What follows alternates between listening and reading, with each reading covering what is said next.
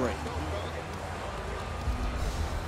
And Kentavious Caldwell Pope will be the man for the inbound.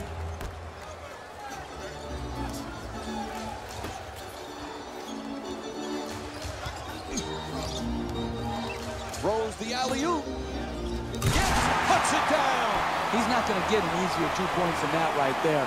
Under the rim, jumps up, dunks it. To Millsap. Fires away. Not able to hit. And they call a timeout as we're winding down the fourth here. You're down late in the game, one possession game. What you need to do is not waste time. You've got to catch it and attack the basket, and then take the first quality shot you get.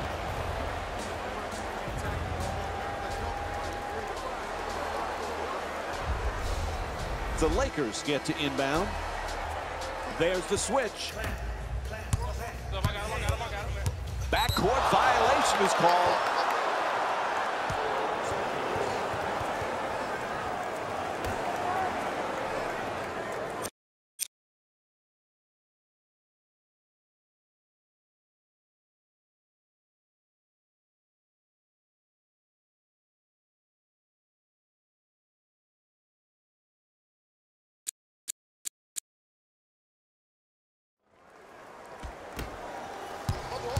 Oh, pretty move into the paint.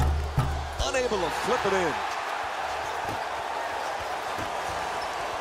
Tries for the alley-oop. Alley-oop for two. Great teamwork. Oh, what body control, the catch, and the finish. And a timeout taken here in the final stages of this game.